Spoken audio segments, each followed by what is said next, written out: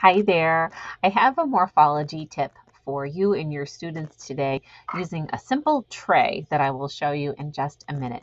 Sometimes when we're trying to help our students visualize and learn the meanings of words, it can be a little tricky to pull out what each individual morpheme means for kids.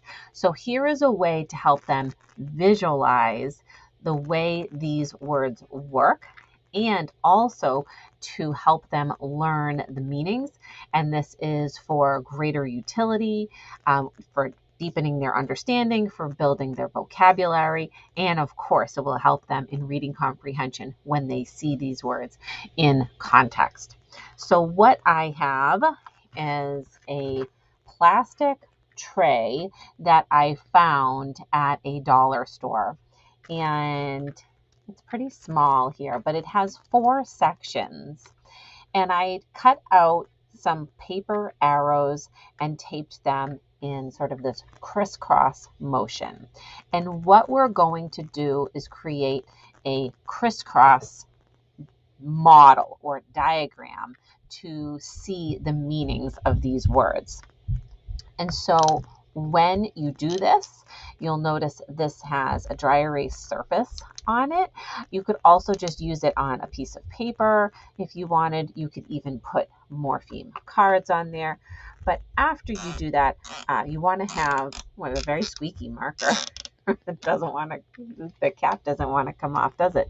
Um, you want to have them record maybe on a piece of paper or on some uh, whiteboard, wherever you have them, um, recording the meanings of words, maybe a binder or something. So let's start with transport. So I'm going to write, um, so this is a dry erase surface. I've already tried it out. Trans and trans, pointing to this arrow down here, means across.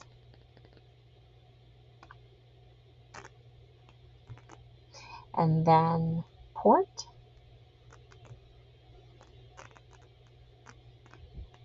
I'll put the meaning here. Okay.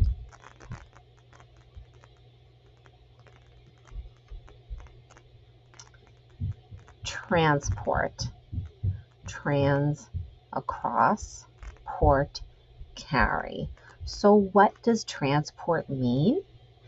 I would have the students say, transport means to carry across. So by putting in these this these morphemes into a crisscross diagram, they can see the meaning of the word.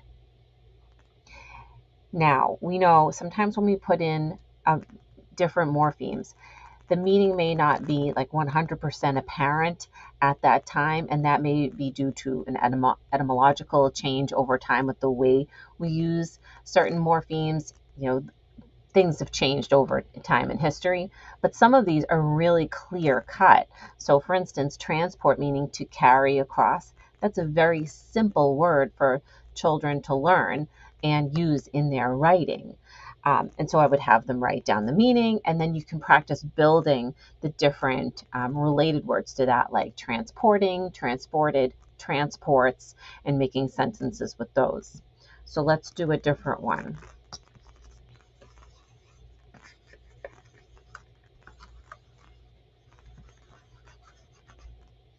Let's try extract.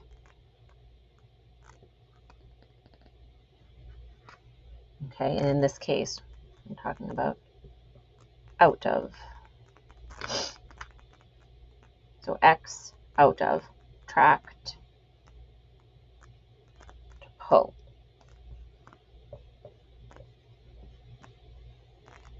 Ex is out of, tract to pull, extract means to pull out of. And if you wanted to show like a bottle of vanilla extract and how we started with a vanilla bean and then we um, pulled out the flavor from those seeds and added, you know, they add alcohol to there and then it becomes an extract. So that could be one example um, to pull out of. Uh, so try this out with your students and let me know how it goes. So once again, this is just a little plastic divided tray. It's a little smaller than a piece of paper. And I just taped little paper arrows there that I just made and printed out from my computer. And then try it out with the different morphemes and the meanings and see if that helps your students with understanding the meanings of these words and practice writing them and learning those definitions. Have a great day.